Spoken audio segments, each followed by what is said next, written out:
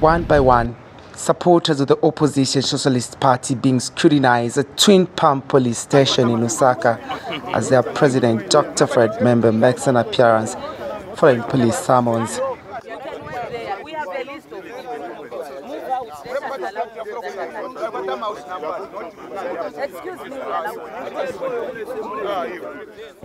However, not everyone could be allowed into the police station. She has come a long way.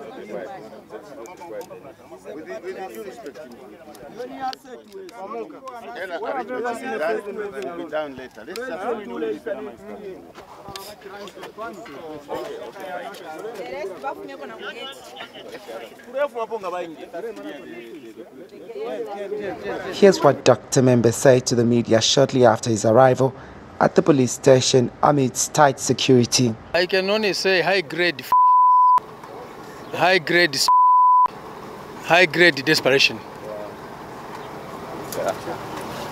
Okay. After an hour of police interrogation, police arrested Dr. M'membe and charged him with an offense of seditious practices.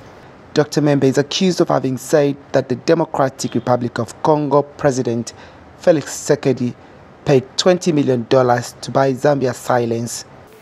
And in that article, he did state that corruption is very widespread in Zambia. And he alluded to the fact of a $20 million uh, that the Zambian government got, or the Zambian leadership got, uh, through the president of DRC. The president, when he was being arrested, said that he's looking forward to getting to court so that these issues are laid out bare.